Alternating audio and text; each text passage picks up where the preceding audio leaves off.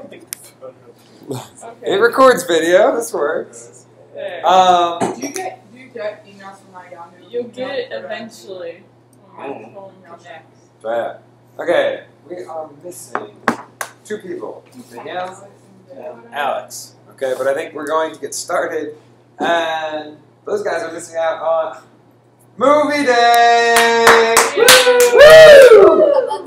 It has Huh? to be the one. No, we're not going to watch a Bugs Life. Uh, we're going to watch movies with real bugs. Um, and all kinds of cool stuff. And other classes, they may just go and be like, oh, we're going to watch a movie today, and they're just going to put on a movie to you. I'm going to show you guys like 10 movies today. Yeah. Um, so it's going to be super awesome. First, I wanted to talk to you guys a little bit about, well, first of all, we have our mix up. Since we don't have, since it's movie day, we're going to have the animated GIF for our ambient video. How's it going? hey, Danielle! Hi, Danielle. You made it just in time for movie day. When we watch movies. Yeah. What's up, guys? Oh, okay, cool. Um, I didn't sleep last night either. Yeah, I didn't sleep last night either. Like, it's not even. It's great. Nobody's ever slept ever. Awesome. Um, so anyway, quick. So in movie day, we instead of a video, we have an animated GIF um, to mix it up. Uh, here is a robotic cockroach. I believe this is from Backyard Brains. Um, it uh, looks like it is just doing like, okay, I tell it to go one way, it stimulates one side. I tell it to go another way, it stimulates another side. But uh, this is going to segue into my mini lecture of the day. Is this thing still recording? Yes, it is. Go photo booth. Um, so my mini lecture of the day is about taking things that look like they're just very simple binary controls of like on, off, cat rubs this, then this happens.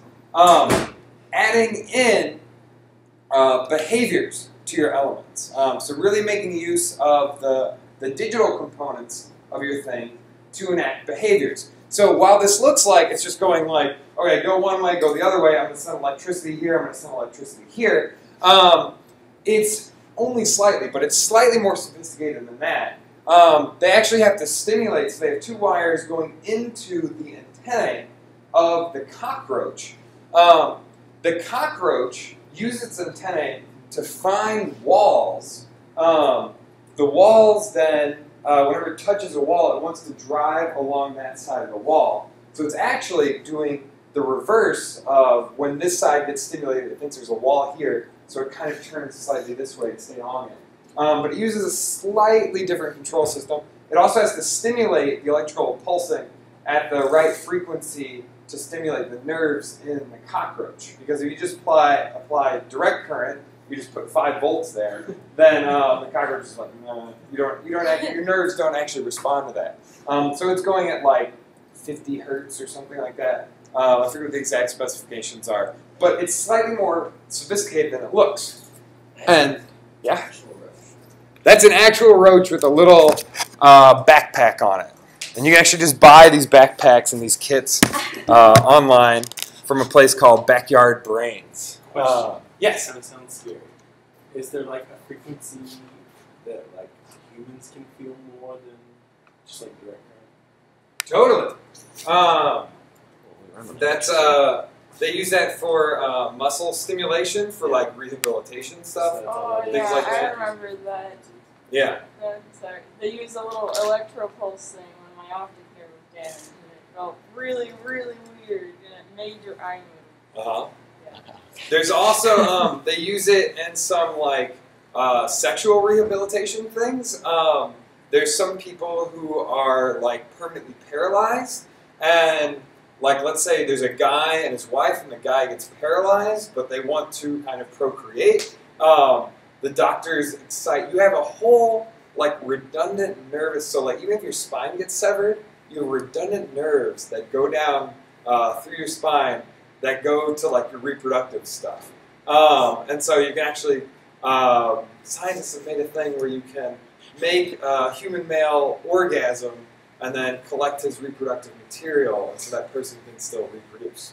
Um, so that's kind of cool. But they had to find like the right nerves and the right uh, frequency responses to this.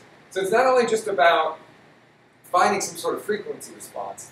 Um, it's also important to make uh, actual behaviors. So if you look over here, um, what, are, what am I looking at here? There's some sort of, this is something an apple. It's an iPad. It's, it's an iPad. Cool. What are they doing? Tell me what they're doing. Yeah, opening and closing control center notification center. Okay, exactly. So let's focus on just this part. They're swiping down, right? Um, so they swipe, that sends a command uh, to the Apple device, and the swipe tells Apple device, like, you should open up this control center. So then it should just go straight to, like, now I have this window popping up. But instead, they add in these different elements. The thing does, doesn't just appear, it slides down with your swiping. It doesn't just slide down with your swiping either. It has its built-in own like simulated physics, um, where it's acting as if it has some sort of weight. It hits here. It doesn't just stop. It bounces a little bit. All of this serves to connect you more with the actual um, device that you're using, and kind of preys on your tacit knowledge that you have from encounters that you have in the world around you. You build in your own weird control schema, even though they don't have to make it bounce like that. That does something in your brain where it makes you want to swipe it, it makes you understand, it makes you not fear it, it makes you kind of engage with it more. And this can be very important when you are trying to make things, especially in the output side, back to your animals. Um, maybe um, if you know that they respond to light um, and they really enjoy light, maybe you don't want to just turn the lights on or turn them off. Maybe you want to make the light appear in some way representing how they encountered these changes in their own natural world. Um, for instance, like maybe the mice, um, if the mouse starts doing something that's really weird and not natural, um, this might make the cat like get weirded out by it. There's a reverse of that though, where the cat might also become more interested in it because it's like a super stimulant.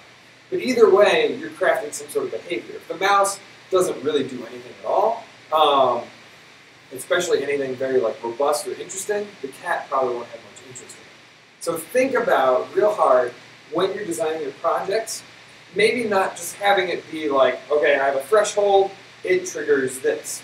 Try to use, um, all you are bringing some sort of coding skills and stuff. Build in some sort of a little bit more um, uh, complexity on the coding side uh, to really show that you understand different systems that your creatures are engaging with. And it'll really round out your project very nicely. Does it make sense? Any questions? Cool. Okay. So now we're gonna start movie time.